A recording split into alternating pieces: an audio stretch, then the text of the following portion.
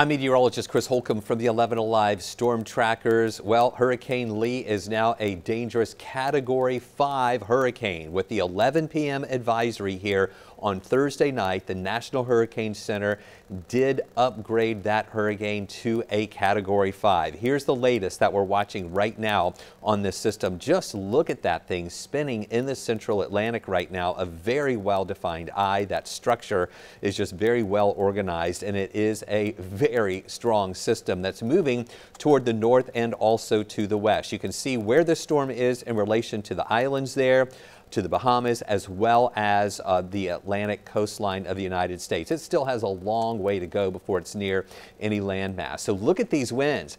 Again, at the 11 p.m. advisory, 160 mile an hour winds gusting to 195 miles an hour, moving west northwest at 14 miles an hour. So here's the track maintaining category 5 strength, we think maybe through Saturday, and then down to a category 4 through Tuesday during the evening hours. Now, the cone does not hit any land masses here on this track. It stays to the north and east of the northern Leeward Islands, north of Puerto Rico, also Haiti and the Dominican Republic, and then east of the Bahamas. So here's what we're going to be watching. This final uh, plot here goes to Tuesday at 8 o'clock. That's from the official track from the National Hurricane Center. But here's a look at the spaghetti models that go out a little bit further.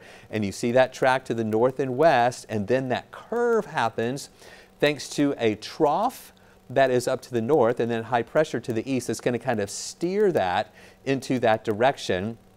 But that curve, when it happens, is very critical to determine how close that center of the storm would come to the United States or over closer to the Bermuda area.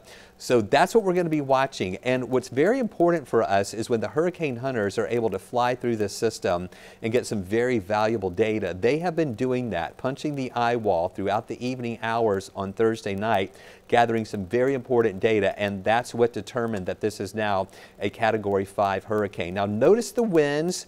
Uh, as it goes near Puerto Rico, they may be feeling some winds Monday into Tuesday and definitely some rough surf. Some of that going into Haiti, the Dominican Republic, as well as some wind and rough surf into the Bahamas. And again, that curve, depending on how close it gets to the United States, would determine if winds and how much rough surf would come into the Atlantic coastline as well. There is another uh, uh tropical system out there, Tropical Storm Margot. It was upgraded at 5 o'clock today. The 11 p.m. advisory shows it with winds of 40 miles an hour. Most likely it'll become a hurricane, we think, at the beginning of next week or late into the weekend, but it stays well out into the Atlantic and doesn't impact us here at all. So here's a look at the names. We are getting to the peak of hurricane season. The statistical peak is on September 10th. And look at all these names we've been through already. There's the updates there on Lee as a Category 5, Margot as a tropical storm. The next name on the list is Nigel. We'll wait and see if that forms anytime soon as well. So a lot to watch in the tropics as we are right now at the peak of hurricane season. Stay with us. We'll keep you posted on these tropical systems that are out there right now. As we get more data in, we'll have updates here as well as updates on 11 Alive News on TV, 11alive.com, and all of our digital channels.